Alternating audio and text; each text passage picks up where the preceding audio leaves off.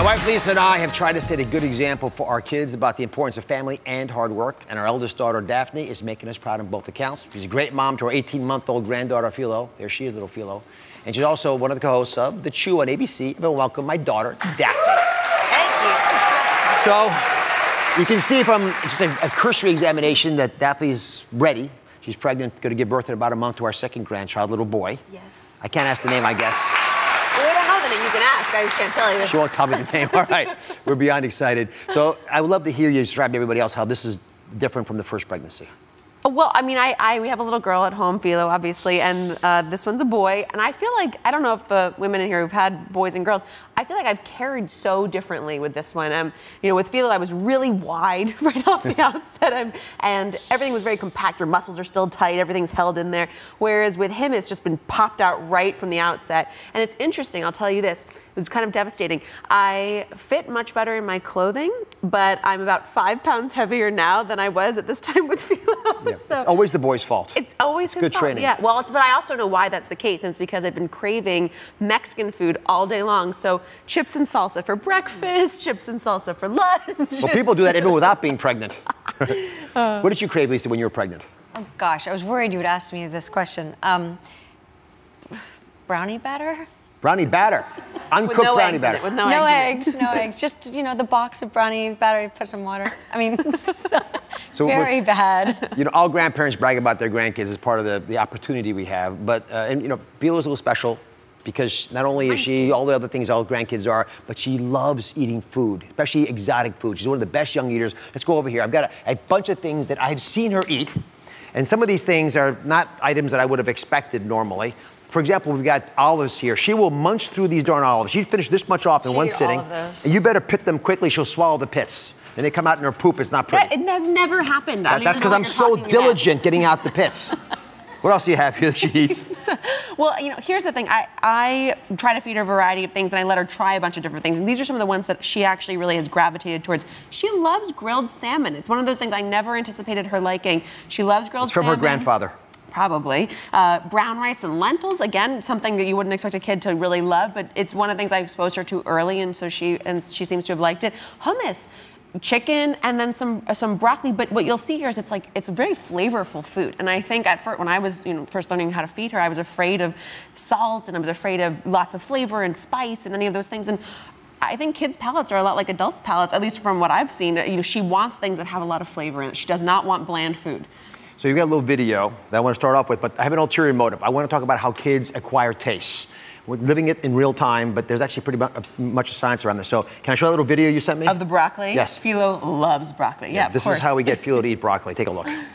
Who's gonna eat delicious broccoli for her lunchtime? For her lunchtime, who's gonna eat delicious broccoli? It's a green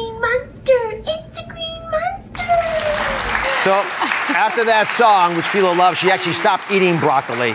I understand. We scared her away. But I want to talk a little bit about why kids acquire the taste of their mom. And most folks don't know this. You probably don't either. I made a little animation Oh, for yeah. you. This is very high tech, very sciencey.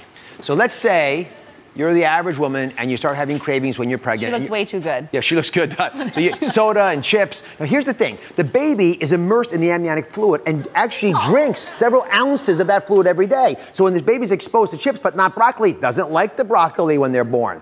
But let's turn it around. Let's go back in time. Now you're pregnant, maybe for the second child, and now you're eating the greens and the green drink and all the healthy, delicious foods that are good for you and the baby. The baby gets those things in their mouth from that amniotic fluid that they're drinking all day long. So when you expose them to these same healthy foods after they're born, guess what? They eat them. And this is actually pretty cool information and absolutely validated over and over again. So that's one of the big challenges. Yeah. So come have a seat. Here's one of the big questions. If it's too late because you already had the baby and they're 25 years old, they're not eating good food, or And all they'll eat is chips and salsa. yeah, Or the brownie batter. Have you been bra- that? yeah, or, or if whatever reason the child doesn't cooperate, how do you convince a child to eat the right foods? Well, you know, I, I really look at it like, you know, it's every parent's nightmare. You make, you go through the process of making a delicious meal for your family and your kids won't eat it. And it's just, eh, you know, you can fight them and you can try to bribe them and cajole them into eating what you want them to eat. And my grandma, my mother's mother, grandma, who won't come on the show, we know. Please, if she sees this, she will not. I tried to, I called to try to get her, I tried to con her, and I just said, come hair and makeup ready just in case. And she was scared away, won't come. well, she, one of the things that she said to me with Philo, because it's you are you get you do get nervous. You, I mean, it's your responsibility to make sure that they're getting the best nutrition, that they're eating the things that are going to make them grow and thrive. Um, and so there, there, would be nights where she would just decide she wouldn't eat broccoli anymore. She wouldn't eat the things that she used to love. And I would get nervous and scared and try, and that she wasn't going to get enough food and she wasn't going to have enough of the nutrients she needed. And so you, I would fight with her on it. And Grandma would say, you know, don't make it an emotional battle. The last thing you want is your kids to see withholding food or withholding eating as a way to control you, as a way to get your attention, as a way to have that emotional strife, because food should be about pleasure and joy and abundance and not about a, a, conflict of wills, basically. So, and she said, look, she'll eat when she's hungry, so don't worry about it. And, and, and my pediatrician actually said over the course of a week is what you really want to pay attention to. You know, some days they're just not that hungry. We go through, as adults, you go through this. Some days you're just not that um, into certain foods, and then the next day you might be fully ready for it. That said, I do have a couple recipes that I've developed that I try to you know, it's it's not sneaking food in. It's just yes, adding it is. She's sneaking food in. It's adding Absolutely additional covert. ingredients um, right. that I think make them a little more nutritious, and that I also just give me a little peace of mind as a parent. So. Um, one of the first things that I developed was this little smoothie that's just avocado, banana, some yogurt, and then um, I'll throw in a big handful of spinach. And kids don't know at, at Philo's age, she's only 18 months, that green is supposed to be gross. She's actually kind of into it, and it's a little sweet from the banana and creamy from the avocado. Yeah. And so having her eat that right off the bat in the morning gives me insurance policy over the rest of the day if all she'll eat for me at dinner time is pasta with red sauce. Um, I make meatballs, and I'll put the broccoli, actually, because she did love broccoli, and now she'll eat it with the meatballs. I'll put broccoli and cheddar cheese right in the meatball so that she's getting everything all at once. And you know, you, you, you experiment with your kids, but I think the single most important thing I did, and, and I learned it from you guys, was we grew up eating at the dinner table together as a family. And I saw what you guys ate, and I saw how much joy you took in your food and how much pleasure we got out of cooking together. And I, I was looking at me too. I cooked the food too. No, no, no. How much pleasure we got out of cooking together. how much pleasure you got out of eating the food we cooked together. Um, and and I think kids want to emulate their parents. They will, and they love their parents, and they respect you so much. Seeing you eat well and seeing you eat foods that are good for you and enjoy that process is the most important thing. All right. So the big question I'm wondering, because I like conflicts, are how Philo's going to deal with her little baby brother. Let's go back a step. Why do you like conflict so much? Because you can really get deeper into someone's soul if you just but, puncture through the external little crusty shell we all keep around ourselves. So I watch Philo play with her cousins, and I'm wondering how well she's going to take to having someone else in her life that she didn't invite, like her brother. well, I will say this. She again, she's young, so I don't know if she fully comprehends what's about to happen in her life.